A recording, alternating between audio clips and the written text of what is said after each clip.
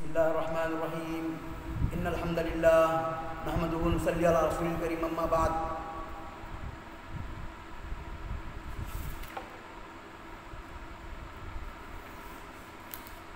वानिबन उमर रज़ी अल्लाह अनहुमा क़ाल नहा रसूलुल्लाह सल्लल्लाहु अलैहि वसल्लम अन जल्लालती व अलबानिहा इब्न उमर रज़ी अल्लाह फरमाते हैं नबी सल्लल्लाहु वसल्लम ने मना किया वो जानवर को खाने से और उसके दूध पीने से जो आज़ाद फिरता है जल्लालती व अलबानिहा जल्लाला उसको कहते हैं जो आज़ाद फिरता है, कुंडियों में, कचरे में, गंदगी में, जो बोले वो खाते अगर तो उसको उसका दूध नहीं पीना, उसका गोश्त भी नहीं खाना हती कि उसको अगर बड़ा जानवर है, चालीस दिन उसको रोक के चारा खिलाना उसको। तो इन उसकी शरह, हदीस पढ़ेंगे हम। अल हदीस दलील अला तहरीम अकल जल्लाला। हदीस इस बात की दलालत करती है कि हराम है वो। उस जानवर का गोश्त और दूध जो घूम फिर के खाता है। अला तहरीमी शुर शुरबी, लबनिहा और उसका दूध भी पीने से मना है। या नहीं तहरीम, क्योंकि नहीं जो है ना मना है, तहरीमी है। वह इलही दहब बादलमा और अक्सर बादलमा जो है ना, इसी की तरफ़ उनका रुझान है, इसी की तरफ़ उनका मौक़ है। वह सबा सवाबू वह आखरून इला अन्न नहीं तंजी और बास कहते हैं कि तहरीमी नहीं है तंजी है, मकरू नहीं, ये तंजी है। उसी हदीस उमर बिन शुआब अल्लदी रवाह अबूदाऊद वलहाकिम बिलफ्स नहा अनहमरहदिया अनिल जल्लालत, जल्लाला बतो जो घूम फिर के खाने वाला, जैसा कि मुर्गी है, कुंडियों में, कचरे में, जैसा कि यहाँ पे काले रंग का किचड़ जमा हो गया। अब उसमें सच खा रही नहीं। अब उसको जुबा करके खाएँगे तो उसके जिसम के अंदर जो फासिद मादा रहता फ़ूड पॉइजनिंग हो सकती है उससे।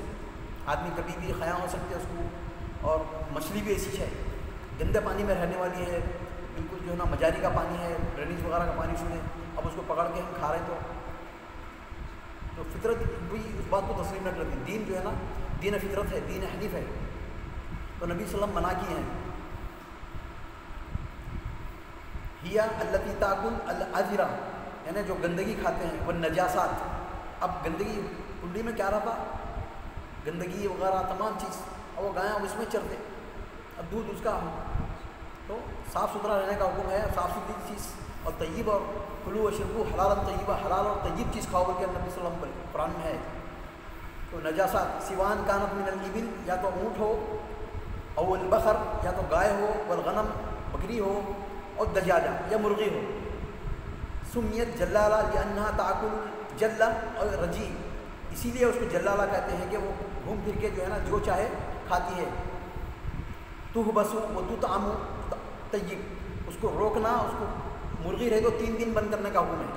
तीन दिन उसको दाना वगैरह खिला के, पानी साफ़ खिला के, तीन दिन के बाद उसका हुक्म ख़त्म हुआ था। उसका जिसम के अंदर जो गंदगी, जो सरायत कर जाती है ना, उसको साफ़ हुआ थी। मुर्गी को हती तक यगलब अन्न बन तहारा लहमिहा। जाफी हदीस अब्दुल्ला बिन उमर अब्न आस। अब्दुल्ला बिन उमर, अब्दुल आस की हदीस में आया है दर खुतनी हती तो अलफ़ अरबाइन लैला, चालीस दिन, यानी चालीस रात उसको, यानी बड़ा जानवर है अगर, ऊँट है, गाय है, चालीस दिन उसको रोकना अच्छा चारा खिलाना। वकाना इबन उमर यू हबिसुद्दाजा इबन उमर जो है ना, मुर्गी को लाने के बाद जो है ना, उसको बंद करके रखते थे। तलाफा तलाफत अयाम तीन अयाम तीन दिन। लाकिन लाखल मखालिन, बल तो अलफ़ाम तो उसमें हदीस की तफसील ज़्यादा है। तो अलुबुल कलाम जो है ना मेन जो कलाम है कि साफ़ सुथरा खाने का हुक्म है। अगर आदमी साफ़ सुथरा नहीं खाएगा तो उसकी सिफात और उसके जो है ना मकरूर चीज़ें इंसान के अंदर आज साइंटिफिक दौर है, तमाम चीज़ प्रूफ हो गया है। उस ज़माने में बोले तो हाँ भाई, गोश्त खाओ? बोल सकते थे। लेकिन अब जो है ना हती के अशुभ जो जो हाजी वगैरह भी जो होती है, ऐसे इलाक़ों में जहाँ पर गंदगी है वहाँ पर उससे आदमी में खारिश वगैरह पैदा होती नबी सलम मना किए हैं। बहुत सारे तरकारियाँ हैं। गलाजा सीज हाँ। अच्छे उसमें आते हैं। नहीं नहीं एक अलग चीज़ है यूरिया है यूरिया बायो। यूरिया ये खाद।